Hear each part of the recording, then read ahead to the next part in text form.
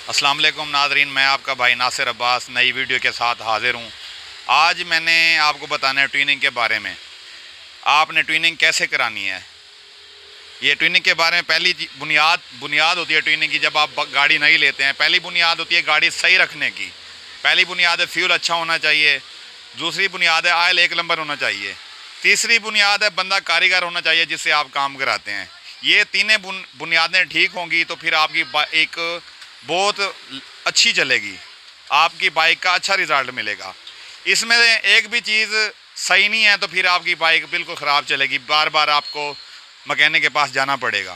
Filter दो category के हैं। एक जाली वाला, एक बगैर जाली वाला। एक ओल्ड मॉडल का, नए मॉडल का।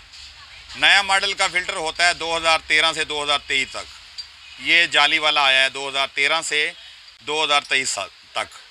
और जो ओल्ड है, जब बानवे से 2012 तक, यही मतलब फ़िल्टर आए हैं, कोई इसमें चेंजिंग नहीं हुई। और इसमें क्वालिटी होती है। एक लो क्वालिटी एक दरमियानी क्वालिटी एक बहुत अच्छी क्वालिटी लो क्वालिटी का नुकसान क्या है, वो मैं आपको बताता हूँ। लो क्वालिटी का नुकसान है, जैसे आप घर में पानी वाला फ़िल्टर लगवाते हैं। हार्डवेयर वाले को बोलते हैं, यार, हमें अच्छा फ़िल्टर दो जो हमारे घर का पानी साफ़ आए। ये भी ऐसी एक मिसाल है कि आप अच्छा फ़िल्टर डलवाएँगे तो आपकी गाड़ी को एग्ज़ास्ट ठीक मिलेगी, हवा उसको ठीक मिलेगी। अच्छा नहीं डलवाएँगे तो कचरा कार्बोरेटर के अंदर जाएगा, गाड़ी मिसिंग करना शुरू हो जाएगी। वो नुकसान इंजन इंजन के ऊपर भी होगा। फ़िल्टर की बुनियाद है गत्ता।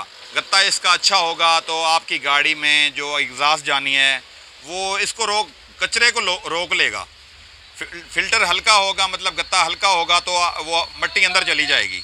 इसका बुनियादी यही काम होता है, फ़िल्टर अच्छा होना चाहिए। फ़िल्टर अच्छा होगा तो आपकी गाड़ी की रिज़ल्ट ट्रेनिंग का रिज़ल्ट बहुत अच्छा होगा। वरना आप मकैनिक को भी गालियाँ देंगे, बोलेंगे, यार, इसने कैसे ट्रेनिंग की है? पार्ट्स आपने खुद हल्का लेके देना है और गालियाँ मकैनिक को देनी है। कोशिश करें अच्छा पार्ट्स लें और ख़ुद लेके आएँ। अच्छा मकैनिक के पास पड़ा है तो फिर उसे डलवाएँ, वरना खुद आप लेके आएँ। दूसरी बात है यूरो। यूरो का जाली वाला फ़िल्टर, ये था आप देख रहे हैं, यूरो का। ये जाली वाला फ़िल्टर, ये भी सेम ही है। कुछ भाई मकैनिक भाई जाली वाला फ़िल्टर शादी वाले में गाड़ी में डाल देते हैं। वो फिर गाड़ी मिसिंग करती है रिज़ल्ट नहीं आता। और कुछ भाई हैं जो ओल्ड मॉडल का फ़िल्टर नए मॉडल में डाल देते हैं। ऐसा भी नहीं करना चाहिए, जो जिस मॉडल का फ़िल्टर जिस लिए बना हुआ है, आपने उस उस गाड़ी में वो डालना है। कोशिश करें फ़िल्टर अच्छा डालें, गाड़ी का रिज़ल्ट बहुत अच्छा आएगा ट्विनिंग की लाइफ बढ़ेगी। मतलब आप एक ट्विनिंग कराते हैं, फिर आप पंद्रह सौ भी चला लें तो कोई मसला नहीं है। और दूसरा पॉइंट है आयल का। मैंने, पहले मैंने आपको फ़िल्टर के बारे में बताया है और दूसरा आयल के बारे में बता रहा हूँ। आयल मैं बता रहा हूँ, आपने आयल गाढ़ा डलवाना है, एक लंबर डलवाना है। मतलब इसमें दो कैटागरी हैं, बीस चालीस है, बीस पचास है। गर्मियों में आप बीस पचास ही डलवाएँ। ये बीस पचास डलवाने का फ़ायदा ये है कि आप एक हज़ार किलोमीटर की आपकी एवरेज है भाई आप एक हज़ार पे चेंज करते हैं, आप ग्यारह सौ पे भी ले जाएँगे तो फिर भी मसला नहीं होगा। आयल कम नहीं होगा।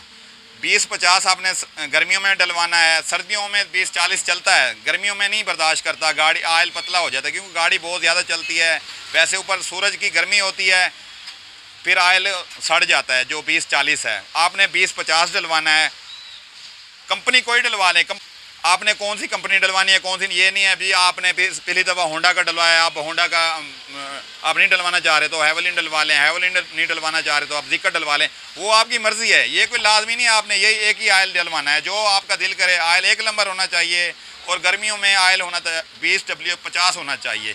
चालीस डलवाएँगे तो आप एक हज़ार की आपकी लिमिट है, आपने हज़ार पे चेंज करना है तो वो जल्दी ख़त्म हो जाएगा, आपका आयल पतला हो जाएगा और उसमें चिकनाहट नहीं होगी और आयल कम निकलेगा।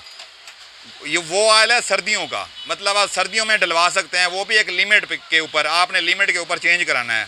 आप मेरे चैनल को देखते रहें लाइक करें फॉलो करें, जो भी आप इन्फॉर्मेशन मुझसे लेना चाहें मैसेज के ज़रिए बताएँ, जो देना चाहें मेरी नॉलेज में इजाफा करने के लिए, वो भी मुझे बताएँ।